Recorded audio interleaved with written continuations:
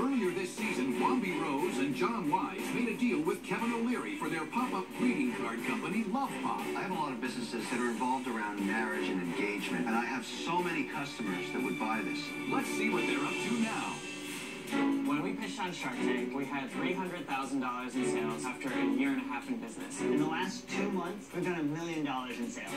There are a lot of directions we can go with Love Pop, and we really look to Kevin to help us pick where we should focus our energy.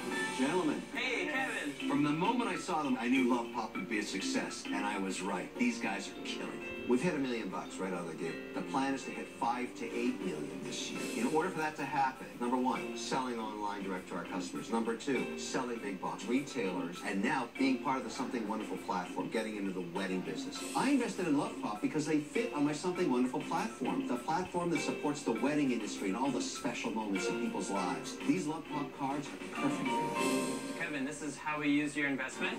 Now that is really cool.